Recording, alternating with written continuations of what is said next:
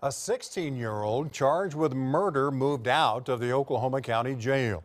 A judge making the ruling following a scathing health department report barring the jail from housing juvenile inmates because of conditions inside the jail. News 4's Jessica Bruno is live tonight. And Jess, this inmate is the first, but more juvenile inmates charged with murder one could be removed from the jail later this week, we understand. Yeah, Kevin, that's right. Officials with the jail tell me right now they're working on a plan to remove all of the juveniles who are still here from the jail, but that plan is still in the works. And an attorney for 16 year old Michael Williams tells me he didn't want to wait.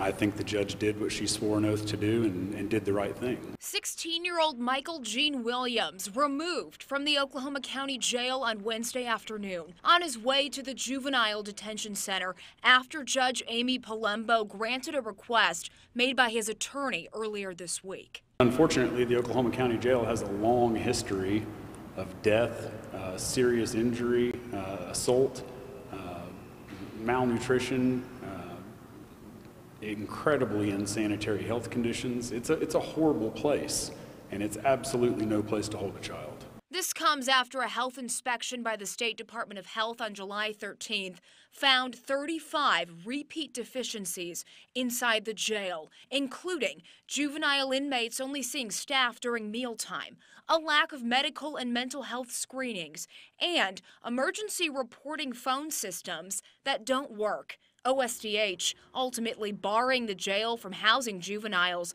But for right now, those charged with first degree murder are still there, except for Williams after Wednesday's ruling. He's innocent unless proven guilty.